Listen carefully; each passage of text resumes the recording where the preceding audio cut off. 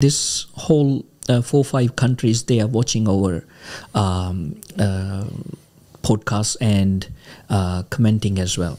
And then we have a facebook group community as well. Indians in brisbane punjabi in brisbane gujarati in brisbane uh, malayali in brisbane and Fiji in Brisbane. Mm-hmm. All uh, and the the biggest one is the Indians in Brisbane. It's we started in 2014, and we already crossed 95,000 on there, yeah. and uh, we are celebrating uh, this in this January 10th uh, year anniversary in um, for all our groups.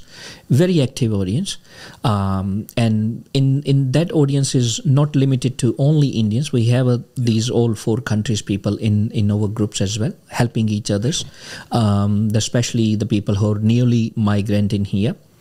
Um, the the people who are already have experience on some kind of same event happening. He ask a newbie ask us some kind of question and the people helping and yeah. give them a guidance you go there and um, go there so any message to our uh, this community uh, feel free to ask this